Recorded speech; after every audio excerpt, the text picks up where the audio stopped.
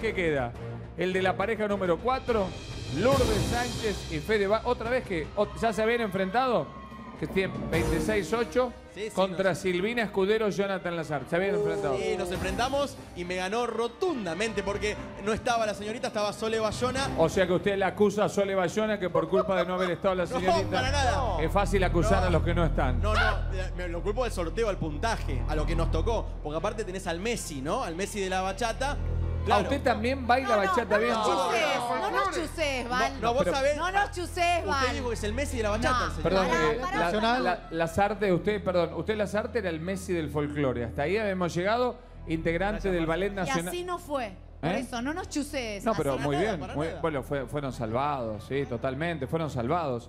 Usted era el Messi del folclore, del Ballet Nacional del Folclore de Argentina. Exactamente, sí, sí, Y que también es Messi de la bachata. Messi juega en el, Bar- Messi juega en el Barcelona, no juega en el, en el Getafe, en el West Ham, juega en un equipo. No, tengo, tengo mi compañía de bachata que es Ritmo Bachata, se llama así.